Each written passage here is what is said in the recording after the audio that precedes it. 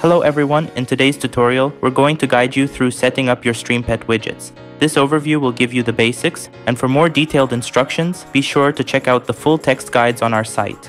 First step, make sure you have a StreamElements account. Our widgets are designed to integrate seamlessly with it, and it's free to use. Installation. Begin by logging into StreamElements with your YouTube or Twitch account. Next, download and unzip your widget package. In the widget folder, you'll find the file for your streaming platform. Just double click it to install. Widget customization. Once installed, head over to your StreamElements dashboard to start customizing your widget. Look for your widget and hit Edit. Under Layers, select your widget's name to access its settings. And that's it. You're now ready to customize your widget. Let's explore some basic settings. General Settings Under General Settings, you'll adjust the key behaviors of your pet. Sleep timeout is where you set how long your pet waits before taking a nap if nothing happens. For example, a 30 second timeout means your pet snoozes if there's no interaction. Command cooldown helps manage your chat by setting a time limit between commands. It keeps things organized and your pet from getting overwhelmed command symbol lets you pick a special character to start chat commands. The exclamation mark is the default, but feel free to choose your own.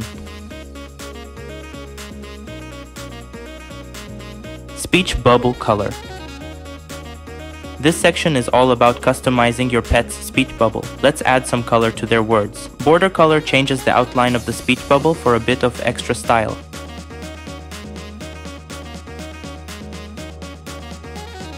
Fill color lets you choose the main color for the speech bubble's background.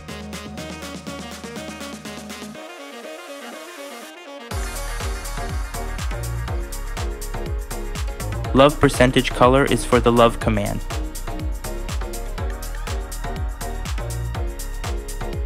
Change this to make those special messages stand out. Event reactions. In event reactions, you can set up how your pet responds to different stream events, like new followers or donations.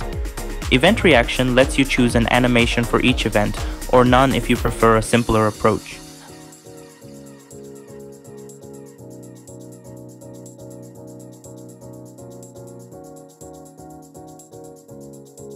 Event message template is where you craft the messages for each event reaction.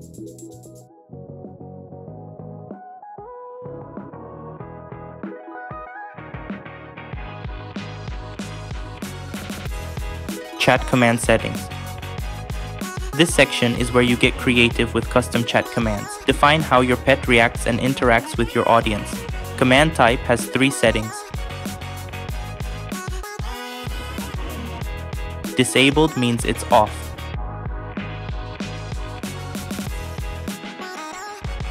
Animation for just the movement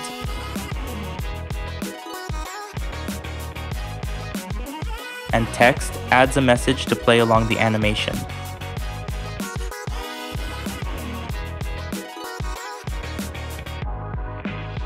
The command setting lets you choose the trigger word for your pet's reaction in chat.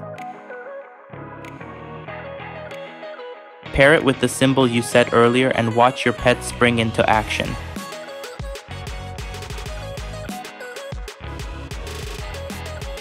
Command animation is where you select an animation for your pet when a command is used.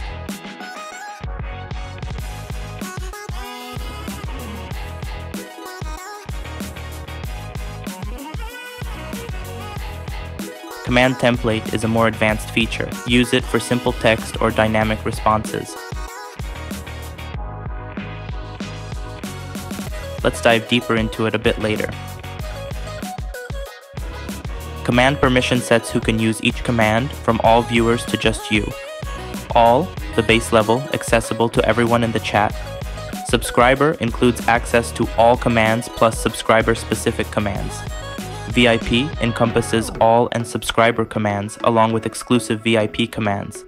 Moderator grants use of all, subscriber, VIP, and also commands reserved for moderators. Broadcaster, the highest level, with access to all command levels, including those exclusive to the broadcaster. pre-configured chat commands. We've included some pre-configured chat commands to get you started. Make sure to test them and adjust permissions as needed before your live stream. Love initiates a fun interaction that calculates and displays a compatibility percentage between the streamer and the viewer who uses the command. Subs provides the current count of the streamer's subscribers. Followers provides the current count of your followers. Pet activates a petting animation for your stream pet with no accompanying message. Shoutout shows a personalized shoutout to a specific user in the chat. Hello shows a welcoming hello animation on your stream. Angry triggers your stream. Pet's angry animation, no text included. Welcome sends out a greeting message to a viewer. Announce broadcasts a custom announcement to your viewers. Advanced customization text styles. Okay, now we came to the most complicated part of our setup guide, customizing your stream pet's responses. All of our pet widgets support Markdown for text styling. Here's how you can apply different styles. To make text bold, surround it with double asterisks. For italic text, use single asterisks. To underline text, use double underscores. And for strike through, use double tildes. You can also combine these styles. For bold and italic, use three asterisks. For bold and underline, combine double underscores and double asterisks and for full combination of all styles, nest the markers accordingly. Advanced Customization Dynamic Variables Dynamic variables are special codes that you can use to make your stream's text elements automatically update with live specific information from your streaming session. Think of them as shortcuts that pull in real-time data, like a viewer's name or the number of new followers you have.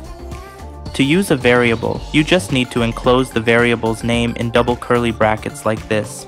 Please take note, our widgets support dozens of variables and if you want to get really deep into them, please check the text version of the setup guide on our site. And here are some basic examples. If you want your stream pet to greet the latest person who rated your channel, you would use session raid latest name. So if a viewer named Misha rated you, it would automatically say Misha. To show how much the highest donor contributed in the current session, write session tip top session donation amount. If the top donation was $420.69, it would display 420.69. Adding the widget to your streaming software. Please take note, for all of your customizations to take effect, you need to press save in the top right corner of the editor and refresh the page before adding the widget to your streaming software. OBS Studio.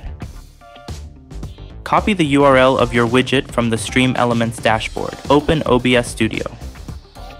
Add a browser source, give it a name, and press OK. Paste the URL you've copied. Set the width to 1920 and the height to 1080. Press OK and we're done. Streamlabs desktop. Copy the URL of your widget from the Stream Elements dashboard. Open Streamlabs desktop. Click Add a new source in the Sources section. Choose Browser Source. Give it a name and press Add Source. Paste the URL you've copied previously. Set the width to 1920 and the height to 1080. Now press close and that's it. Your widget is ready to use.